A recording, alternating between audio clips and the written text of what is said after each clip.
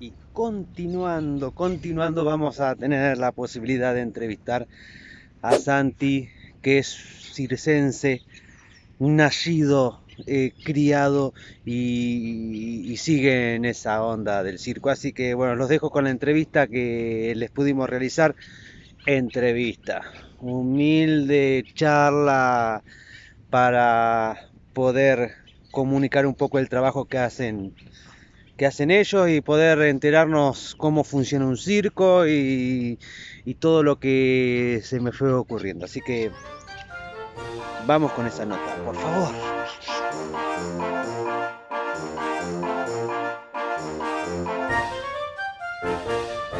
Bueno, estamos en el Circo Las Américas con Santi. A ver, Santi, contanos un poco de qué se trata el circo, de qué se trata este circo Este en particular. circo. Este es el ¿Tu cir- circo sería? Es mi circo, Muy sí. bien. Mío y de mi familia, ¿no? Eh, circo de las Américas. Cumplimos 10 años hace muy poquito tiempo desde que inauguramos la, la locura esta de sacar circo propio. Bueno, yo soy de familia de circo, cuarta generación de familia de circo, toda Ah. mi vida laburando en circo, trabajando, divirtiéndome en el circo. Y bueno, tuve la posibilidad de a poquito ir comprando cosas y hoy por hoy, bueno, 10 años que el Circo de las Américas anda recorriendo la Argentina.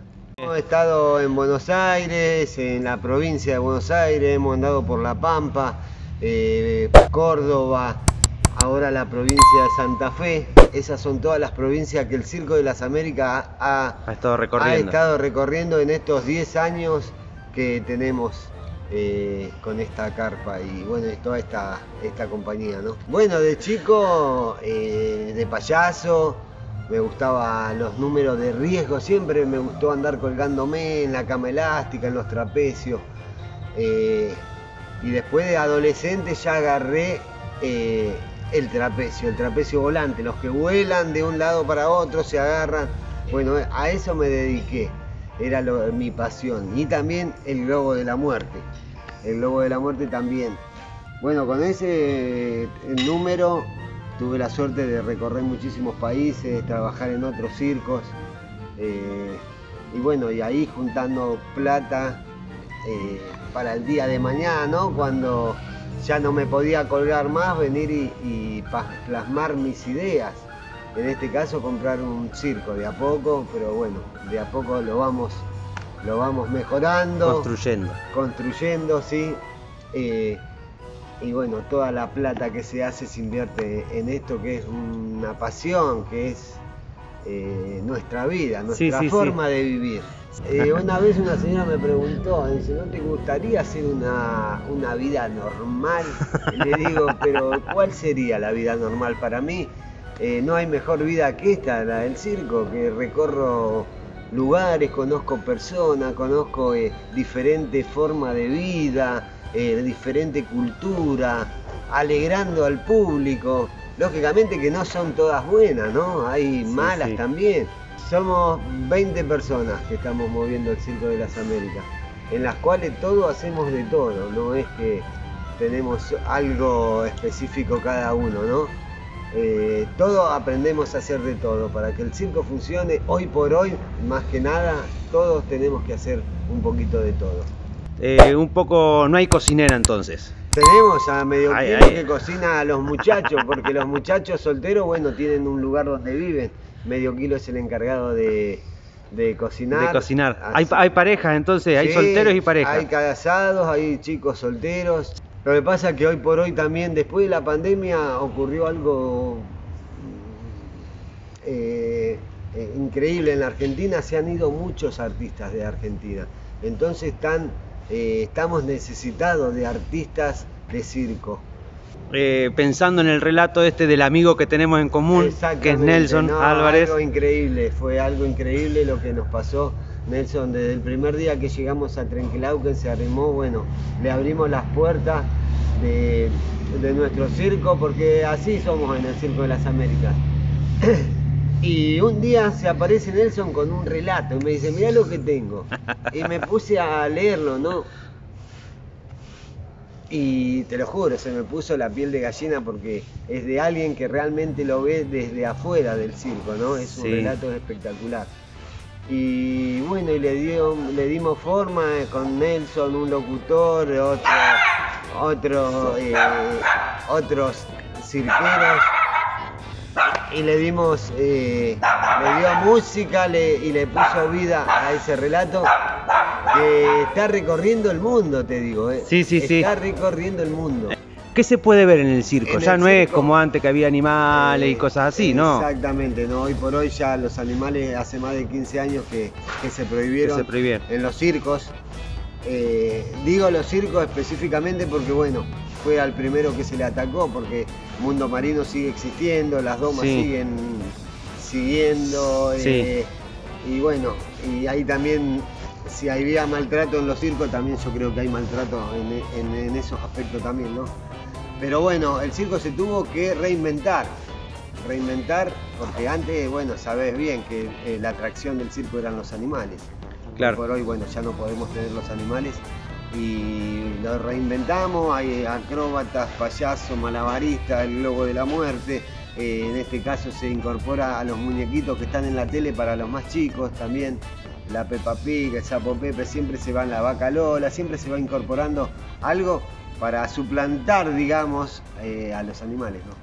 Son unos cuantos días de preparación hasta que el circo Eh, comienza a funcionar. Exactamente. Primero y principal hay que ir a la municipalidad, la cual la municipalidad, si tiene un predio municipal, te lo cede, te lo alquila o te cobra un canon. Eh, no todas las municipalidades son iguales. En otro caso, no, el municipio no tiene eh, predio, tenés que salir a alquilar, a- alguno. Eh, la municipalidad lo tiene que avalar a ver si está apto para que vos puedas armar. Es todo un tramiterío, es mucha burocracia lamentablemente, eh, en la cual todos los municipios deberían de tener un predio adecuado para eh, espectáculos circenses, parques de diversiones, espectáculos culturales, aunque el circo también es cultura, ¿no?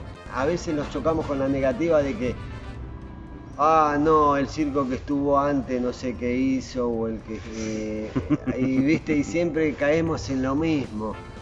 Eh, hemos llegado a acuerdos también de, de que me bajan los impuestos a cambio de entradas para chicos carenciados, que eso es muy importante que el municipio lo haga, ¿no? Mirá. Nos ayudamos mutuamente, uno ayuda al otro. Al otro. Bueno, Y más en este caso a los chicos que por ahí no pueden, no pueden venir y pagar una entrada. Claro. Pero bueno, acá se hace los trámites en la municipalidad en el cual se entrega una carpeta totalmente armadita, cómo es el circo, las salidas de emergencia, eh, bueno, la parte eléctrica, un matriculado que te hace un, toda una carpeta. De ahí eh, avala al municipio, nos da un permiso o nos da una autorización en la cual vamos a EPE, en este caso en Santa Fe que es EPE, pedimos el suministro eléctrico y vienen y nos conectan la luz. Y el agua, bueno, la mayoría de los terrenos tienen agua, o si no le pedimos a un vecino, llegamos a un acuerdo con alguien, o de última vamos y conseguimos un, un tanque y nos abastecemos de agua. Todos los trailers tienen ¿no? sus tanques, pero hay que seguir abasteciendo. pero claro, sí, sí, sí, sí, sí, lógicamente. El Ah, tiempo que uf. tiene de armar el circo eh, son 24 horas. Ah, rápido. Es rapidísimo, sí. Todos, todos, todos, eh, a la hora de armar y desarmar, eh, ya sabemos dónde va cargado esto, así que tomamos gente por hora y nos dividimos y se hace todo mucho más rápido ¿Cuánto tiempo se queda el circo en la ciudad? en cada ciudad. Y Mm, eso ¿Hay un tiempo o o no se sabe? No, no se sabe, no se sabe. Eh, ta- eh, una pasa por cómo trabaja el circo, cómo va, va eh, viniendo el público, cómo vamos trabajando. Y la otra es ir armando la gira, ¿no? Eh, donde nos dan para tal fecha, porque no en todos los municipios te- te- por ahí te ponen fechas. Claro. eh, es todo un tema. Eh, en Reconquista se largó a llover. Ya no se va a escuchar más. Muchísimas gracias. El Ah. circo cuenta con 400 localidades. Uf, un montón. Eh, muchísimas gracias por la buena onda, por habernos atendido. Nada, agradecerte a vos, agradecer a Nelson en especial, que es un amigo que en plena pandemia estuvo firme ayudándonos. eh, siempre ese, ese mensaje de apoyo, llamándonos, eh, es importante, que la pasamos muy mal, eh, así que Nelson, un abrazo grande y bueno, y toda la gente que vea esto, cuando vea un circo, que vaya, que lo apoye, el circo es cultura. Dale, Como gracias. la revista de Nelson. Nelson Como- también es otro fenómeno que empezó a hacer la revista de todos los circos. Sí, sí, sí. Bueno, gracias. El paso de los circos por los diferentes pueblos es mágico.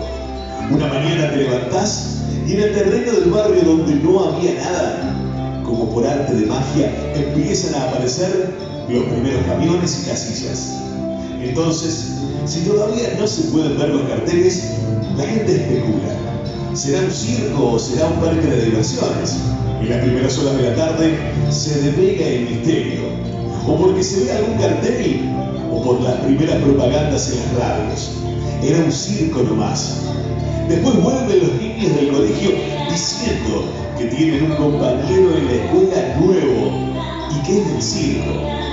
Y así se va construyendo esa mágica historia que ocasiona la llegada de un circo al pueblo. Al día siguiente se empieza a ver en lo alto la carpa que va tomando forma y da otro color al barrio.